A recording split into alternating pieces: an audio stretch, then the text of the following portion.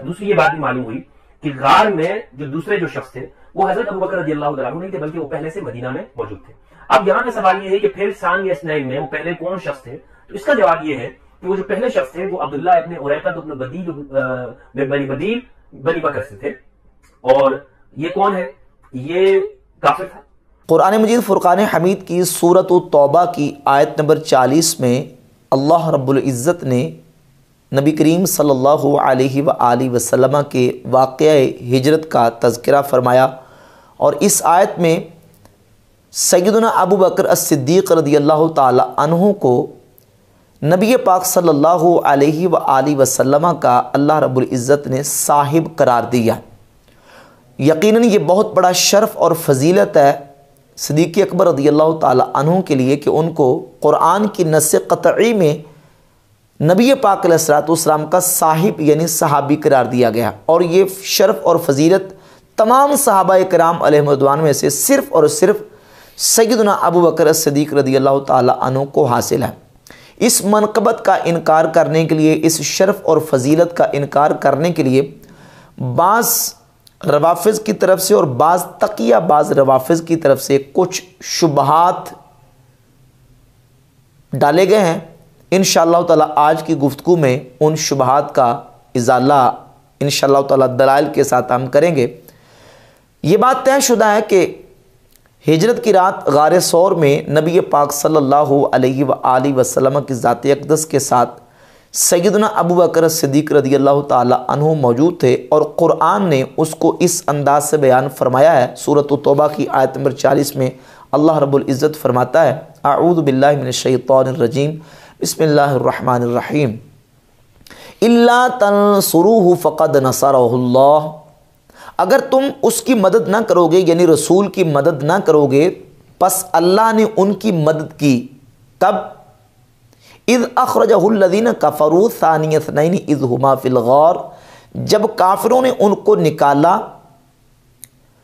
तो वो दो में से दूसरे थे इज़ हुमा फ़िलगार जब वो दोनों गार में थे। इज़ यकूल साहिब ही जब वो कहते अपने साहिब से, अपने साथी से, ला तहजन इन माना गम न खा, अल्लाह हमारे साथ है। फ़नज़ल्ला सकीन तहु अलई बस अल्लाह ने उस पर सकीना नाजिल फरमाई। व अयदहू बिजनूदिल्लन तरहा, और अल्लाह ने उसकी मदद की ऐसे लश्करों के साथ लन तरहा तुमने उनको नहीं देखा। कुरान मजीद की इस आया मुबारक में अल्लाह रब्बुल इज़्ज़त ने सैदना अबू बकर सिद्दीक़ रदी अल्लाह तहों को नबी पाक का साहिब करार दिया। और ये एक फजीलत है, ये शरफ़ है सदीक अकबर रदी अल्लाह तु का। पहले तो एक तकियाबाज राफजी ने यह कहा कि इस आयत में अबू बकर सदीक का नाम मौजूद नहीं है। तो उसका जवाब सुन लीजिए नबी पाक के महराज का अल्लाह तबारक वाली ने ज़िक्र किया। तो इन कलिमात के साथ उसका तस्करा फरमाया, सुबहानल्लज़ी असरा बिअब्दिही मिनल मस्जिदिल हराम इलल मस्जिदिल अक़सा। पाक है वो ज़ात जिसने अपने बंदे को सैर करवाई। बेआबदी ही अब ये आबद आबद कौन है? इसमें नबी पाक सलाम का नाम नहीं है। तो कतई और इजमाही तौर पर यह बात तयशुदा है कि इस अबद से मुराद रसूलुल्लाह सल्लल्लाहु अलैहि वसल्लम की ज़ात अकदस है। नाम ना होने का यह मतलब नहीं है कि जो उसकी मुराद है उसका इनकार कर दिया जाए। भाई, यहाँ भी अबद से मुराद कौन है? नाम नबी करीम सलाम का मौजूद नहीं है। लेकिन अब्द से मुराद अलैहि वसल्लम की ज़ात अकदस है। ये कतई तौर पर साबित है। ये कतई तौर पर इजमाही तौर पर साबित है। तो सदीक अकबर रदी अल्लाह तु का नाम नहीं है। लेकिन कुरान ने रसूलुल्लाह सल्लल्लाहु अलैहि वसल्लम का जिसको साहिब करार दिया है, वो कतई तौर पर इजमाही तौर पर साबित है कि वो सईदना अबू बकर असदीक रदी अल्लाह तु की ज़ात अकदस है। सुन्नी शिया दोनों की किताबें इस बात पर मुतफ़ हैं। अहल सुन्नत के यहाँ तो कोई एक फ़र्द वाहिद भी आपको नहीं मिलेगा। को कि जो ये कहे कि हिजरत की रात गार सौर में नबी पाक के साथ अबू बकर सदीक नहीं थे, कोई और था। कोई एक भी फ़र्द वाहिद आपको नहीं मिलेगा। जबकि अहल तशैयों की किताबों के अंदर भी इसी बात की सराहत मौजूद है कि हिजरत की रात नबी पाक सलाम के साथ सदीक अकबर, यानी हज़रत अबू बकर सदीक मौजूद थे। ये अलमिज़ान फ़ी तफसर कुरान, शिया के आलिम अलामत तबा तबाई। इस में लिखते हैं, वल मुराद साहिब ही हुआ अबू बकर नकल कतई। है कतई तौर पर यह मनकूल है कि साहिब से मुराद अबू बकर सदीक के ज़ात है। ये दूसरा वाला अतबियान फ़ी तफसर कुरान। इसमें अलामा तूसी शिया आलिम लिखता है कि इससे मुराद अबू बकर सदीक है। ये अलामा तबरसी शिया आलिम है, मजमौल बयान बड़ी मरूफ तफसीर है अहल तशैय की। इसमें भी यही लिखा है कि मुराद अबू बकर है। ये तफसीर साफ़ी, इसमें भी ये लिखा है कि मुराद अबू बकर है। और आगे चलिए, ये तफसीर हसन अस्करी है। इसके सफ़र नंबर 436 पे मौजूद है कि नबी पाक सल्लल्लाहु अलैहि वसल्लम ने हिजरत से पहले आगाज़ में अबू बकर सदीक रदी अल्लाह ताला से पूछा कि आप मेरे साथ हिजरत करेंगे और क्या आप ये गवारा करेंगे कि जिस तरह मुझे तलाश किया जाए, आपको भी तलाश किया जाए? तो अबू बकर सदीक रदी अल्लाह तु अर्ज़ की यारसूल अगर आपकी मोहब्बत में सारी ज़िंदगी मुझे तकलीफ़ों में गुजारनी पड़े तो मैं इसको गुजारने के लिए तैयार हूँ। हिजरत की रात नबी पाक सलाम के साथ अबू बकर सदीक मौजूद थे। ये हयातुलकलूब मुला बाकर मजलसी की हयातुलकलूब की जिल्द नंबर दो, सवा नंबर पाँच सौ सात पे मौजूद है। मुला बाकर मजलसी ने इसी रवायत को नकल किया है और ये बिहारुल की जिल्द नंबर उन्नीस, सवा नंबर तैंतीस और सवा नंबर अट्ठासी दो मकाम पे मुला बाकर मजलसी ने पूरे वाक़ ज़िक्र किए हैं कि हिजरत की रात रसूलुल्लाह सल्लल्लाहु अलैहि वसल्लम के साथ अबू बकर सदीक मौजूद थे और ये अलफरू मिनल काफ़ी। इमाम मोहम्मद अल बाकिर रदी अल्लाह ताला से ये रवायत मौजूद है। पंद्रह हज़ार एक सौ सत्रह नंबर इमाम मोहम्मद अल बाकिर रदी अल्लाह ताला फरमाते हैं कि इन्ना रसूल अल्लाह सल्लल्लाहु अकबल यकूलु अबी बकर फ़िलगार उसकुन फ़िन माना नबी पाक अबू बकर सदीक की तरफ़ गार में मुतवजह हुए और आप सलाम ने फरमाया कि अबू बकर सुकून करो, अल्लाह हमारे साथ है। तो ये अहल तशैयों की मोतबर और मुस्ंद किताबों में भी ये बात तयशुदा और अलामा तब तबई शिया में लिखता है कि ये कतई तौर पर मनकूल है कि हजूर के साहिब से मुराद कौन है? अबू बकर। लेकिन ये तकियाबाज राफजी, अहल सुन्नत का टाइटल और लेबल इस्तेमाल करके वो कह रहे जी, मेरी तहकीक ये है, किसी को इख्तलाफ हो भी सकता है। और कहता है, मेरी तहकीक ये है कि अबू बकर मुराद नहीं है, वो कोई और था। अबू बकर सदीक साथ नहीं थे, नबी पाक सलाम के, वो तो हिजरत से पहले नबी सलाम की हिजरत से पहले मदीना में आ चुके थे। और फिर कहता है, मेरी तहकीक ये है, अगर दुरुस्त हो तो अल्लाह की तरफ़ से है, और गलत हो तो शैतान की तरफ़ से है। तो फिर तकियाबाज राज़ी साहब, सुन लें, ये शैतान की तरफ़ से है। ये तुम्हारी तहकीक शैतान की तरफ़ से है। अल्लाह की तरफ़ से नहीं है, क्योंकि अल्लाह की तरफ़ से ये कैसे हो सकती है? उम्मत का इजमा इस बात पर। कि साहिब गार नबी पाक सलाम की ज़ात अकदस के साथ सैदना अबू बकर सदीक रदी अल्लाह तु की ज़ात अकदस। अब अहल सुनत व जमात की किताबों से मैं कितने हवाले पेश करूँ? सैकड़ों दर्जनों किताब, किताबों के अंदर बेहमद ताला, ये जो ना वो हदीस, सीरत फ़ज़ैल की किताबों के अंदर ये बाकायदा चैप्टर्स और उनमनात मुहदसी ने कायम किए हैं कि सैदना अबू बकर सदीक रदी अल्लाह तु का नबी पाक सलाम के साथ हिजरत करना। ये इमाम बहकी की किताब दलालबुआ इसमें इमाम बहकी ने ये बाब कायम किया है और बाब का उनवान है, खरूज नबी सल्लल्लाहु अलैहि वसल्लम मा साहिब ही इला अबी बकरिन, इला अबी बकर सिद्दीक रदी अल्लाह तहु इलगार वमा ज़हरा फ़ी ज़ालिक मिनल आसार। नबी पाक सलाम का अबू बकर सिद्दीक रदी अल्लाह तहु के साथ गार की तरफ़ निकलना और जो उसमें आसार और निशानियाँ ज़ाहिर हुई, उनका बयान। और फिर इमाम बहकी रहमत ने मुतद अहादीस और रिवायत सही सनत के साथ अहादीस को बयान किया। और सही बुखारी के अंदर इमाम बुखारी रहमत ने एक पूरा चैप्टर और बाब कायम किया है। उसका अनुमान भी यह है कि रसूलुल्लाह सल्लल्लाहु अलैहि वसल्लम और हुजूर के सहाबा का मदीना शरीफ की तरफ़ हिजरत करना। और फिर मुसलसल अहादीस लेके तीन हज़ार नौ सौ पाँच, तीन हज़ार नौ सौ छः, तीन हज़ार नौ सौ सात तीन हज़ार नौ सौ आठ, तीन हज़ार नौ सौ ग्यारह और तीन हज़ार नौ सौ सत्रह, तीन हज़ार नौ सौ उन्नीस, तीन हज़ार नौ सौ बीस और तीन हज़ार नौ सौ बाईस। ये मुसलसल अदीस इमाम बुखारी रहमत ने ज़िक्र की है कि नबी पाक सलाम के मक्का शरीफ से हिजरत करने से लेकर मदीना तयबा पहुँचने तक अबू बकर सदीक रदी अल्लाह तु रसूलुल्लाह सल्लल्लाहु अलैहि वसल्लम के साथ है ये तमाम तर तफसीरत मैं अगर पूरी मुकम्मल अहादीस पढ़ूँगा तो ये इसके लिए टाइम ज़्यादा चाहिए। ये तमाम अहादीस सही बुखारी के अंदर इमाम बुखारी रहमत ने ज़िक्र फरमाई। और तमाम सहाबा अलमरदवान इस बात पर मुतफ़ थे कि कुरान मजीद की सूरत तोबा की आयत नंबर 40 में रसूलुल्लाह सल्लल्लाहु अलैहि वसल्लम की जिस साहिब का ज़िक्र किया गया है, सानी इसनैन में अबू बकर सदीक रदी अल्लाह की ज़ाती अकदस शामिल हैं। सही बुखारी के अंदर सात हज़ार दो सौ उन्नीस नंबर हदीस है। जिस वक्त सकीफ़ बनी साइदा में अंसार और महाजिर साहबा जमा हुए तो उस मौके पर सैदन उमर फ़ारूक रदी अल्लाह तु ने तमाम साहबा से ये कहा कि उमूर मुसलमिन सबसे ज़्यादा हक रखते हैं कि जिनके सपोर्ट किया जाए, वो अबू बकर सदीक रदी अल्लाह तु है, जो कि सानी स्नैन है। गार में नबी पाक के साथ सात हज़ार दो सौ उन्नीस नंबर हदीस है। और इसके अलावा अलमुस्तरक अलसहीन में चार हज़ार चार सौ बाईस नंबर हदीस इमाम हाकिम लेके है सैदना ज़ुबैर इबन अव्वाम और हज़रत मौला अली रदी अल्लाह तुमा दोनों ने सैदना अबू बकर सदीक रदी अल्लाह तु की अजमत का इतराफ़ करते हुए इस बात का ऐलान और इजहार किया।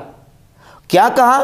इन्ना नरा अबा बकर अहक नासिबिहा बाद रसूल सल्लल्लाहु अलैहि वसल्लम इन्नहू लसाहिबुलगार वसानी हम इस बात का इतराफ़ करते हैं कि नबी पाक सलाम की ज़ात अकदस के बाद अबू बकर सदीक रदी अल्लाह सबसे ज़्यादा हक रखते हैं अमर मुसलमिन का क्योंकि ये साहिबुलगार और सानी स्नैन है ये मौला अली रदी अल्लाह का बयान है हज़रत उमर फ़ारूक का बयान सही बुखारी बहत्तर सौ उन्नीस नंबर हदीस से गुजरा बेहमद तला तमाम साहब इकराम इस बात का इतराफ़ करते थे और एक रिवायत, तारीख़ इबन असाकिर की जल्द नंबर तीस सफ़ा नंबर दो सौ इक्यानवे पे मौजूद है। इसी आयत के हवाले से, इल्ला तन सुरूह फ़क़द नसरल्लाह इज़ अखरजहुल्लदीन कफ़रुसानीन इज़ुमा फ़िलगार इस आयत के हवाले से मौला रदी अल्लाह तु का अपना बयान और फरमान है। मौला अली फरमाते इन अल्लाह कुल्लहुम व मदह अबा बकर रदी अल्लाह तु अल्लाह ने इस आयत में तमाम लोगों की मजम्मत की है और अबू बकर शरीक रदी अल्लाह तु की इस आयत में अल्लाह रब्बुल इज़्ज़त ने मदा फरमाई है यानी नबी पाक सलाम का साहिब सदीक अकबर रदी अल्लाह तु को करार दिया गया तो ये सदीक अकबर रदी अल्लाह तु की ज़ात अकदस की मदा है और इस मकाम पर एक इश्काल बाज़ रवाफ़ की तरफ़ से ये भी पेश किया जाता है कि देखिए, यहाँ अबू बकर को नबी सलाम का साहिब कहा गया तो क्या हुआ? क्योंकि साहिब का इतलाक तो कुरान मजीद में कुफ़ार पर भी किया गया है। तो यहाँ अगर साहिब कह दिया गया तो क्या हुआ? तो उसका जवाब ये सुन लें, कुफ़ार पर जहाँ इतलाक हुआ साहिब का, वहाँ बतौर उनकी अल्लाह तबारक वाली ने वहाँ मजम्मत भी बयान फरमाई। उनका, उनकी इहानत और इजलाल फरमाया है। और यहाँ सदीक अकबर रदी अल्लाह तु को नबी पाक सलाम का अल्लाह तबारक वाली ने साहिब करार दे के उनकी मदा फरमाई है। अगले कलिमात देखें। इद यकूल साहिब ही ला तहजन इन माना। रसूल फरमा रहे हैं अपने साहिब से कि गम न कहो, अल्लाह हमारे साथ है।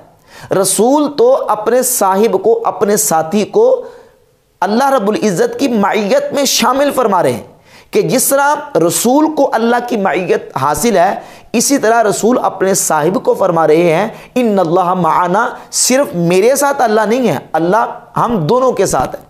और यहाँ रसूल सल्लल्लाहु अलैहि वसल्लम की ज़ात अकदस के साथ, जो अल्लाह की मैयत है, रसूल को जो मैयत हासिल है, वो मैयत नुसरत वाली, मदद वाली, अल्लाह रब्बुल इज़्ज़त की रहमत वाली, मदद वाली, और अल्लाह रब्बुल इज़्ज़त जल्ला शाह की ओन वाली मैयत नबी पाक को हासिल है। तो सदीक अकबर रदी अल्लाह तु की ज़ात अकदस को भी वही माइत हासिल है, जो सल्लल्लाहु अलैहि वसल्लम की ज़ात अकदस को हासिल हुई। और फिर अगले कलमात है फ़ान ज़ल्ला सकीनत अलई बस अल्लाह ने उस पर सकीना नाजिल फरमाई। इस आयत के अंदर, अलही के अंदर ही ज़मीर का जो मर्जे है, ये किस की तरफ़ लौट रही है? अगर हम इस आयत का स्याक कलाम देखते हैं, तफासिर से कता नज़र। तफासिर को एक साइड पर रख के अगर अरबी ग्रामर और अरबी लगत के हिसाब से देखते हैं तो यहाँ ही ज़मीर लौट रही है साहिब की तरफ़। क्योंकि ज़मीर का ये कानून और उसूल है कि ज़मीर मजकूरात में से अकरब की तरफ़ लौटती है। यानी ज़मीर को लुटाया जाता है अकरब की तरफ़, ये ज़रूरी है। और यहाँ ज़मीर लौट रही है अकरब साहिब की तरफ़, क्योंकि पीछे अगर इबारत की को मुकद्दर निकाला जाए इद यकूल साहिब ही ईद यकूल रसूल साहिब ही ला तहजन इन माना कि जब रसूल अपने साहिब से कहते, रसूल कहते अपने साहिब से, अब रसूल का ज़िक्र पहले और साहिब का ज़िक्र बाद में। यानी ज़मीर को अगर हम पीछे लौटाते हैं तो पहले साहिब का कलिमा ज़िक्र होता है। तो अब ये जो ज़मीर है, वो लौटेगी साहिब की तरफ़ क्योंकि साहिब जो है, वो रसूल की बनस्बत यहाँ इबारत में अकरब है। तो फ़नज़ल्ला सकीनत अलई बस अल्लाह ने उस पर सकीना नाजिल फरमाई, यानी रसूल के साहिब पर सकीना नाजिल फरमाई। ये भी अबू सदीक रदी अल्लाह तु की एक कमाल उनका कमाल और उनका शर्फ और उनकी फजीलत है। यहाँ ये बात भी एक करीना है कि पीछे जो ज़िक्र हुआ कि ला तहजन इन अल्लाह माना अगर ज़मीर को रसूल की तरफ़ लुटाया जाए तो यहाँ करीना बता रहा है कि यहाँ ज़मीर साहिब की तरफ़ लौटेगी। क्यों? क्योंकि इसलिए कि यहाँ होजन और गम हासिल हुआ है साहिब को, रसूल को नहीं। क्योंकि रसूलुल्लाह सल्लल्लाहु अलैहि वसल्लम इस मौके पर साकिनुल और कवि नफ्स थे। नबी करीम सलाम को हुजन और गम नहीं हुआ। हुजन और गम हुआ है अबू बकर को। तो जिसको हुजन और गम हासिल हुआ है, मोहताजी भी सकीना की उसको है। यहाँ रसूलुल्लाह सल्लल्लाहु अलैहि वसल्लम की ज़ात अकदस को हुजन नहीं हो हुजन अबू बकर सदीक को लिहाजा सकीना भी अल्लाह ने अबू बकर सदीक रदी अल्लाह तु पर नाजिल फरमाई। इसके अलावा इस तकियाबाज राफजी ने एक इश्काल ये भी पेश किया कि उम्मिन सैरतना आयशा सदीक़ा रदी अल्लाह तला फरमाती हैं कि कुरान मजीद का कुछ भी हमारे बारे में नाजिल नहीं हुआ, सिवाय उन आयात के जो मेरी बरात में नाजिल हुई हैं। इससे साबित हुआ कि हज़रत अबू बकर सदीक रदी अल्लाह की शान में कुरान मजीद की कोई आयत नाजिल नहीं हुई। हालाँकि इस बयान का, इस कौल का ये हरगिज़ मतलब नहीं है, बल्कि सैद आयशा तो सदीक़ा रदी अल्लाह ताला जो फरमाना चाह रही हैं, वो फरमाना ये चाह रही हैं कि अबू बकर सदीक रदी अल्लाह तु की औलाद के बारे में कुरान मजीद की कोई आयत नाजल नहीं हुई, सिवाय उन आयात के जो अल्लाह ने मेरी बरात में, सईद आयशा की बरात में नाजिल फरमाई हैं। तो ये बात उनका बयान बिल्कुल दुरुस्त है कि सदीक अकबर रदी अल्लाह की औलाद में से सदीक अकबर के बेटों या उनकी बेटियों के वाले से किसी के बारे में कुरान मजीद की कोई आयत नाजिल नहीं हुई। सिर्फ़ सईद आयशा तो सदीक रदी अल्लाह तना के बारे में नाजिल हुई। रह गई बात सही नबूबकर सदीक रदी अल्लाह की खुद अपनी ज़ात की तो उनकी ज़ात के हवाले से कुरान मजीद कई आयात नाजिल हुई हैं, जिनमें से सूरत तोबा की आयत नंबर चालीस में अल्लाह तबारक वाली ने सदीक अकबर रदी अल्लाह तु को नबी पाक का साहिब करार दिया। इसके अलावा एक और इश्काल, इस तकीबाज राफजी ने यह डाला है कि देखिए बुखारी शरीफ में हदीस है कि नबी पाक सलाम के मदीना शरीफ में पहुँचने से पहले जो अव्वलीन महाजरीन साहबा मदीना शरीफ आ चुके थे, उनकी इमामत हज़रत सालिम मौला अबू हुजैफ़ा रदी अल्लाह तु कराया करते थे। सही बुखारी के छः सौ बानवे नंबर हदीस पे ये मौजूद है और सात हज़ार एक सौ पचहत्तर नंबर हदीस के अंदर मौजूद है कि उन अवलिन महाजरीन साहबा में हज़रत अबू सदीक रज़ी अल्लाह तु भी हज़रत अबू हुजैफ़ा के ग़ुलाम, हज़रत सालिम के पीछे नमाज़ें पढ़ा करते थे। लिहाजा साबित हुआ कि अबू बकर सदीक तो नबी पाक सलाम के हिजरत करने से पहले ही हिजरत करके मदीना शरीफ आ चुके थे। हालाँकि इस रवायत से और इस हदीस से ये बात बिल्कुल साबित नहीं होती। ये बेहमद तला अंबार है अहादीस का जो सदीक अकबर रदी अल्लाह तु की नबी पाक के साथ माइत और, और को बयान कर रहा है। अब इस हदीस का शारही ने मतलब और माना क्या बयान किया? माना ये बयान किया कि जो छः सौ बानवे नंबर हदीस है उसमें तो ये मौजूद है कि जो अव्वलीन महाजरीन साहबा थे उनकी इमामत नबी पाक सलाम के मदीना आने से पहले हज़रत सालम करवाया करते थे। लेकिन इकहत्तर सौ पचहत्तर नंबर हदीस में ये नहीं है कि हजूर के मदीना आने से पहले उसमें सिर्फ़ इतना है कि हज़रत सालिम अव्वलिन महाजरीन साहबा की इमामत करवाया करते थे। उसमें नबी पाक सलाम के हिजरत करने से पहले का ज़िक्र मौजूद नहीं है। तो सदीक अकबर रज़ी अल्लाह तु नबी पाक सलाम के साथ हिजरत करके आए थे। अलबत्त यह है कि शारही ने लिखा कि जब हज़रत सदीक अकबर कुबा में नमाज़ पढ़ते थे तो अव्वलीन महाजरीन साहबा जहाँ नमाज़ पढ़ते थे, अबू बकर सदीक भी उनके साथ हज़रत सालिम के पीछे नमाज़ें पढ़ा करते थे। ये इस हदीस का बिल्कुल वाज मतलब है। और इसके अलावा एक बहुत बड़ा इश्काल और एक बहुत बड़ा धोखा इस तकियाबाज राफजी ने यह दिया है और कहा है कि मेरी तहकीक और दलाइल से ये साबित है कि अबू बकर सदीक हिजरत की रात नबी पाक सलाम के साथ नहीं थे।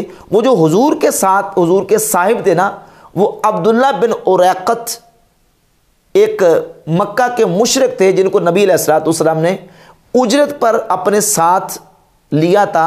वो थे, अबू बकर सदीक नहीं थे। और हवाला दिया अल कामिल फिर तारीख का। ये मेरे पास अल कामिल फिर तारीख मौजूद है।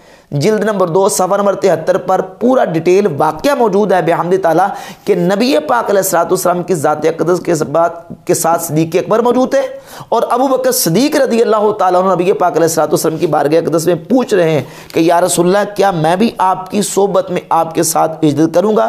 तो हजूर ने फरमाया कि हाँ अबू बकर, आप भी मेरे साथ होंगे। फ़बका अबू बकर मिनल फ़रह। अबू बकर सदीक रदी अल्लाह तु खुशी से रो पड़े। फस जरा अब्दुल्ला इबन मिम बनी दील नबी पाक सलाम ने और अबू बकर सिद्दीक दोनों ने फस्त जरा तस्निया का सीगा है दोनों ने अब्दुल्ला बिन औरकत को उजरत पे लिया वकाना मुशरकन यदुल्लुमा अल तरीक वो मुशरक था और उसने दोनों को रास्ता बताया, वलम यालम बखरूज रसूल सल्लल्लाहु अलैहि वसल्लम गैर अबी बकरिन व अली व आलू अबी बकरिन। सैगना अबू बकर सदीक और मौला अली और अबू बकर सदीक रदी अल्लाह तो उनके अहल खाना और उनके घर वालों और औलाद की, के अलावा कोई भी नबी पाक के बारे में नहीं जानता था कि हुजूर कब हिजरत करेंगे और नबी पाक किस तरफ़ निकल के तशरीफ़ ले गए।